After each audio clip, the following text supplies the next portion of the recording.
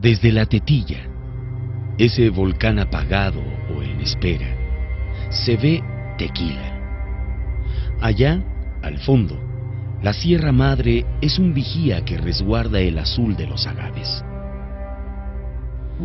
De niño anduve por estas calles, que eran como de otro mundo. ¿Quién empieza su andadura tan temprano? ¿Quién descubre bajo la mañana una porción de su futuro? Siempre que estoy en este pueblo, imagino al niño que fui y que perseguía a las palomas. Hay un fragor en los recuerdos. Casas, patios, empedrados, la iglesia con sus altavoces llamando a misa mientras los fieles iban presurosos. Todo se repite, como si al reflejarme en el espejo me encontrara con el que fui.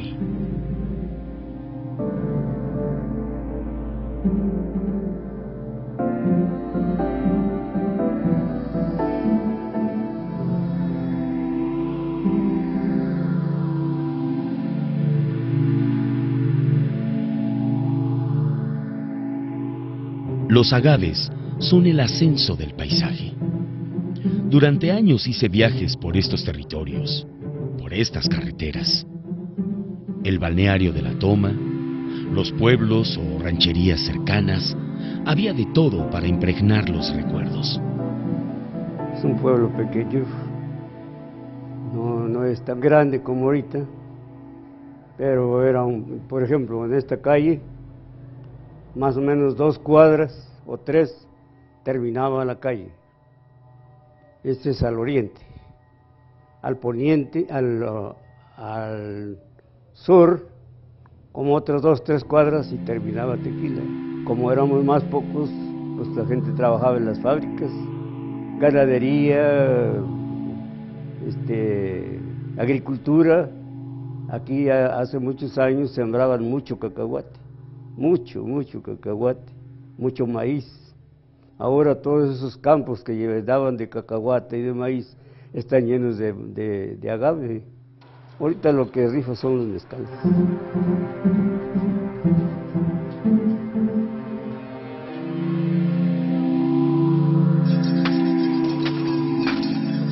Golpe tras golpe, el gimador abre la.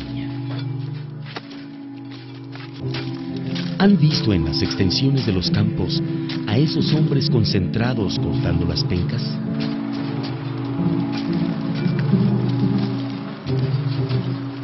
Son figuras que, solo por las mañanas, se extienden laboriosamente a lo largo del paisaje. De estos cielos en donde navega la mirada. Un jornal de un gimador consiste en llegar al potrero, llegan a las 6 de la mañana, desenfundan, hacen su calentamiento normal para no sufrir algún estiramiento o algo. Y ya sobre eso empiezan a trabajar. En, cuanto empieza a ver luz del día, este, el, gimador empieza su labor. Para la gima, bueno, trae su triangulera, es para traer los triángulos aquí. Y esto es para cargar, eh, se puede decir que es esto es cebo para untarse en las manos para que eh, el cabo no, no le haga callos en las manos. El triángulo que lo usamos para, para el afile es, el, afilado para, para tener un, filo muy pues, altamente peligroso se puede decir. Eh, la protección del pie que la llamamos mm, polaina o protección de, cuero para ayudar a proteger de lo que la goma que suelta la piña este, le, pique al gimador y también para que le proteja de alguna herida o cortada con, con la coa. Un gimador, eh, por ejemplo, en, en, las partes que son más calientes o en los meses más calientes, que es en abril, en mayo, en, cerca al temporal, este, tenemos que estarlos hidratando con mucha agua y sueros oral para, para que puedan aguantar lo que es el jornal, porque en esos meses se pone muy difícil.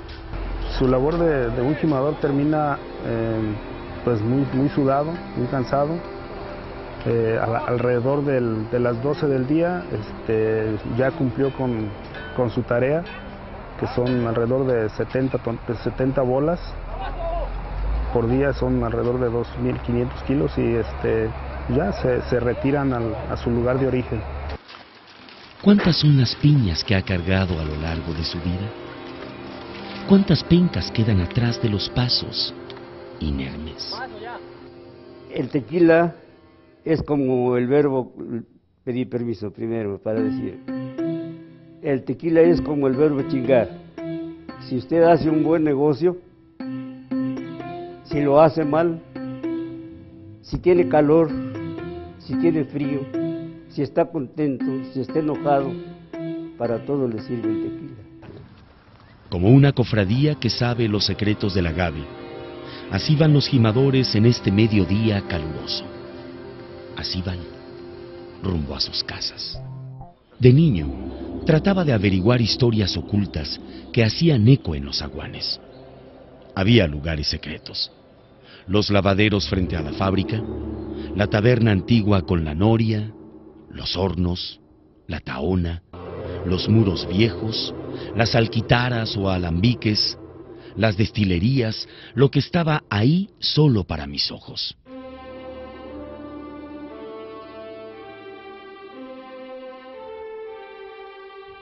O las bodegas oscuras, frías, en donde se reposaba en toneles el aguardiente, se sedimentaba y alguien absorbía los olores. Mucha gente llega y me dice, ¿cuál es el mejor tequila para tomármelo? Le dije, no, no es grosería lo que le voy a contestar, pero el mejor tequila es el que a usted le guste, porque a mí me gusta este o aquel y a usted le puede gustar este otro. Así es que usted, según su estado de ánimo, usted sabrá si se lo toma o no. Yo ahorita a la fecha me tomo dos tequilas antes de comer. Así borrachera, pues sí, fiestas o bailes, pero, pero que yo tenga de qué arrepentirme cuando estaba joven, no, bendito sea Dios.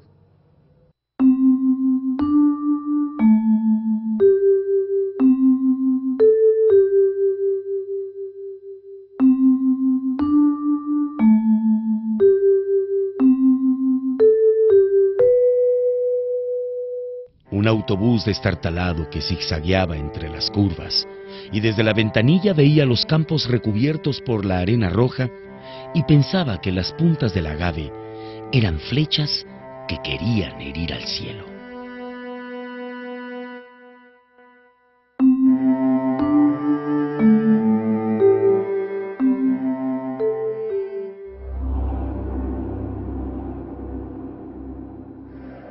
Pero todo en él es demasiado serio. Los gestos de su rostro, la fuerza que imprime en sus manos al intentar cortar en dos la piña. Para él, el paisaje no existe, solo esa cosa, ese bulto que quiere partir, ese agave herido.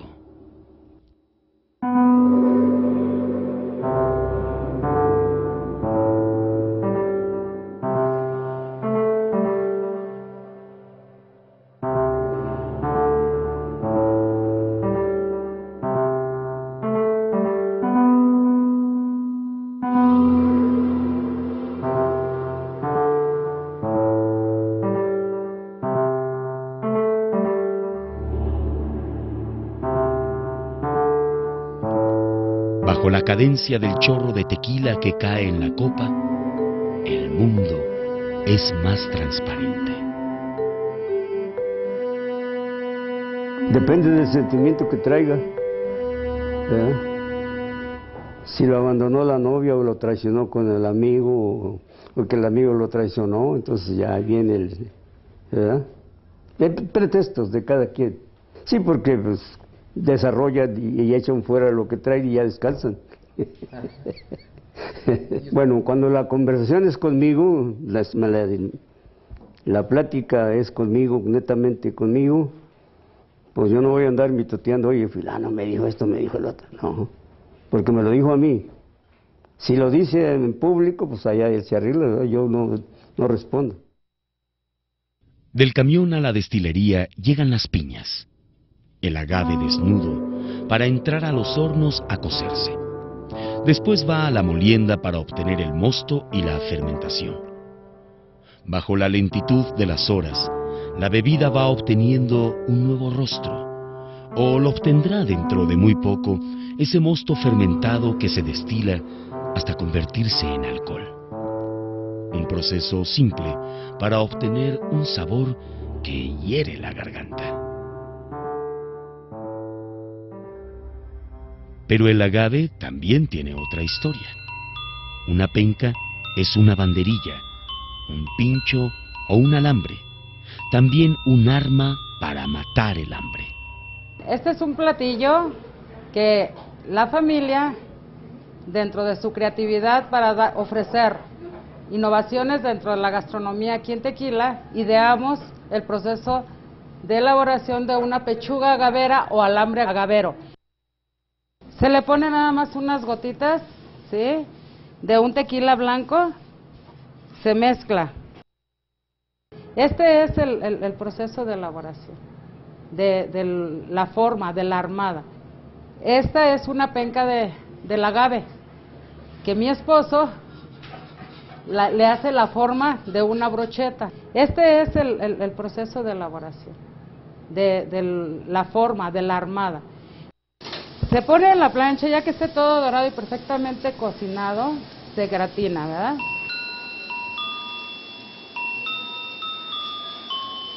y me da mucha satisfacción el hecho de que una idea pensada en familia haya trascendido.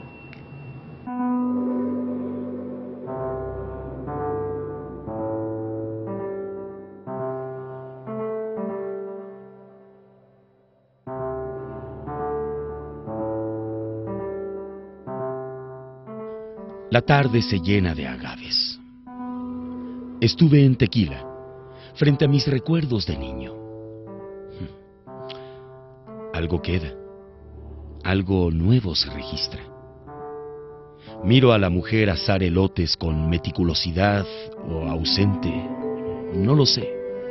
Atrás de ella se balancean los bules. Atrás de ellos, el volcán apagado y pongo fin a los recuerdos.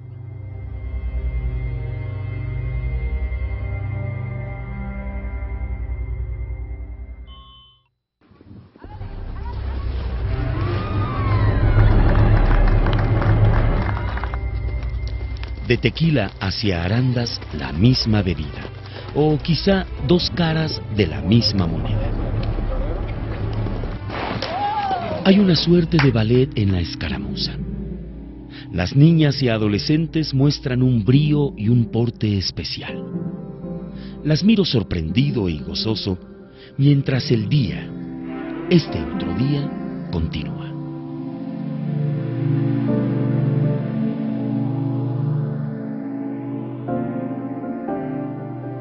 una de las niñas realiza una suerte.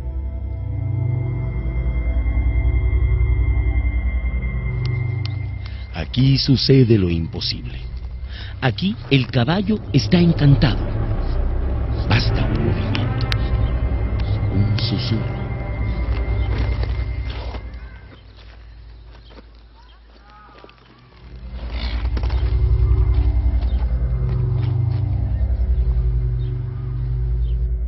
Todo paisaje es trazo en la memoria.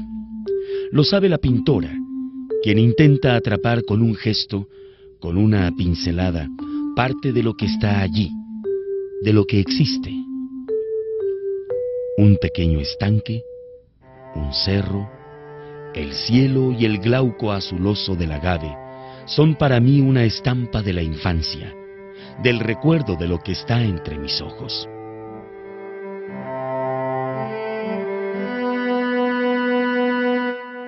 Bueno, esta planta, de hecho este año cumple 70 años, fue iniciada por mi abuelo en el año de 1937 Eh, tras él siguió mi padre manejándola, ahora eh, junto con mis hermanas somos la tercera generación manejando esta fábrica. Y básicamente lo que nos ha caracterizado es que continuamos trabajando siempre el proceso tradicional, ya que aunque es menos eficiente que los procesos modernos, para nosotros es muy importante el preservar esto como una parte de nuestra tradición. En la taona quedan los rastros de lo que fue el agave. No, el esqueleto de la planta, la piña ya cocida. Un buen tequila, para ser considerado como tal, eh, lo primero que debemos considerar es cuánto agave lleva en su proceso.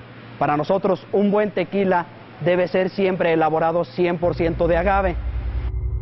Se muele para extraer la sustancia, el alma. Eh, aparte de eso, eh, debe tener cuidado en su elaboración, debe tener cuidado en el cocimiento que no se caramelice la miel para tener una fermentación eficiente. Una fermentación natural, es decir, el no ponerle aditivos químicos al proceso, para nosotros es un símbolo muy valioso de calidad. Demasiadas veces he visto el proceso y aún me sigue deslumbrando.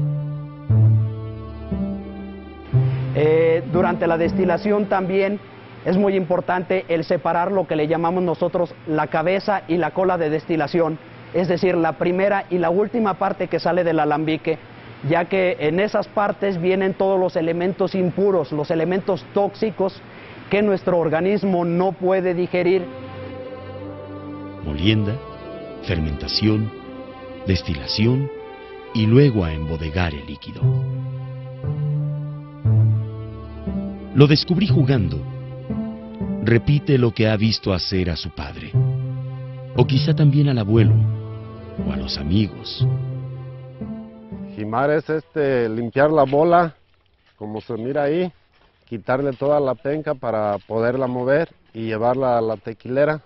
A nosotros este trabajo nos gusta porque supuestamente así estamos acostumbrados y el campo se nos hace muy bonito y ando nomás libre. ¿Verdad? Por eso es que nos ha gustado este trabajo a nosotros. ¿Hay diferencias entre los paisajes ondulantes de Tequila y de los altos? ¿Son los cielos tan distintos? Importa lo que veo, estas ondulaciones azules. Para paladear realmente un tequila se necesita utilizar los cinco sentidos. Es decir, la vista, hay que verlo, hay que ver su color, hay que ver su textura, hay que ver los aceites esenciales que nos va a dejar en el vaso. Después de eso debemos utilizar el tacto, hay que sentirlo, si está frío, si está tibio, si está caliente, cómo se siente el tequila. Por supuesto hay que utilizar el olfato que nos va a hablar o el olfato nos va a decir mucho en cuanto a cuánto tiempo puede tener de reposo, de añejamiento por los aromas que la madera nos va a dar o nos va a hablar del agave si es un tequila blanco. También, por supuesto, debemos utilizar el gusto. Hay que probarlo, hay que ver si es agradable al paladar, si es ligeramente picante, si es ligeramente dulce. Y por último hay que utilizar el sentido del oído. Ahí me dirán, bueno, ¿cómo puedo yo escuchar a un tequila? Ahí es donde intervienen los amigos. Siempre debemos tener alguien con quien chocar la copa, escuchar ese sonido y poder decir salud. Esa es la forma de disfrutar un tequila. Me hablaron de la cabalgata cristera de un tropel de caballos en el monte. Hay una leyenda árabe para la creación a estos animales. Dios, al crear el universo, le pidió al viento del sur que se condensara. De ahí, de esa condensación, nació el caballo. Su galope tiene algo de aéreo, de ligereza. Lo sabe su jinete, lo sabe el charro.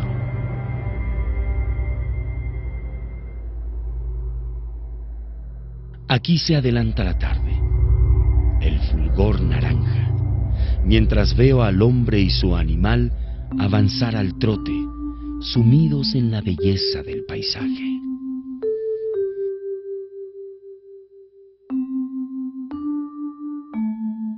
Tan solo falta en la mano un caballito de tequila.